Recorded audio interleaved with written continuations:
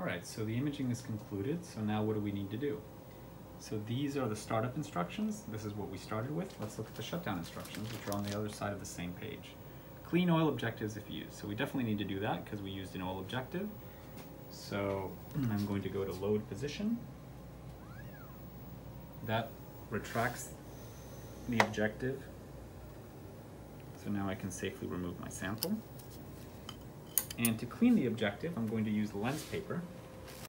So I want lens paper that looks roughly like that. And then I use two hands and I wipe across the front face of the objective. So I grab the other side of this uh, piece of uh, lens paper with my other hand and then wipe across gently. You don't want to wipe like this because that can distribute pieces of grit uh, or dust and, and grind them into the objective. So I'm gonna do that. I need both hands so I can't show you in the video.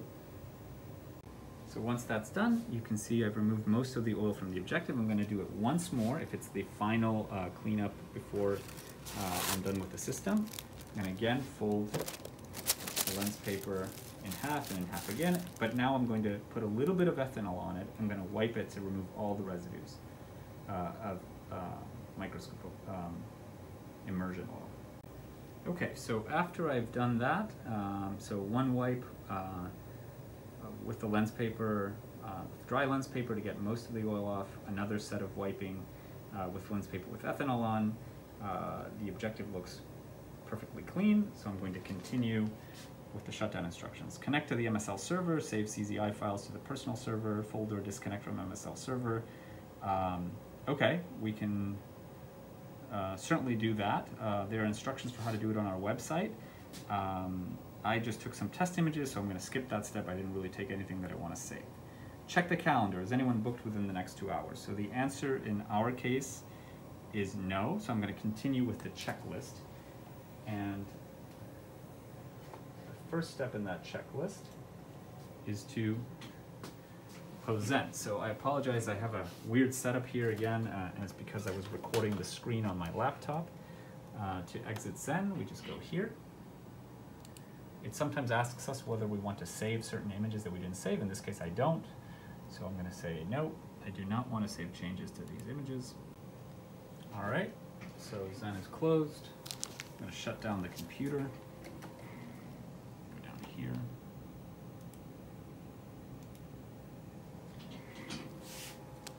Then I'm going to turn off the right-hand power strip, switch number four.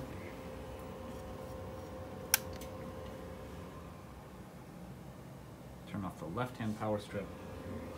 Switch number three.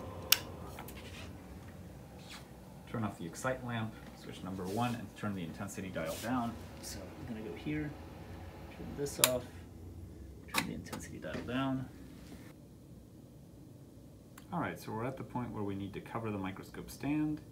Um, before we do that, uh, we need to make sure we disinfect the microscope.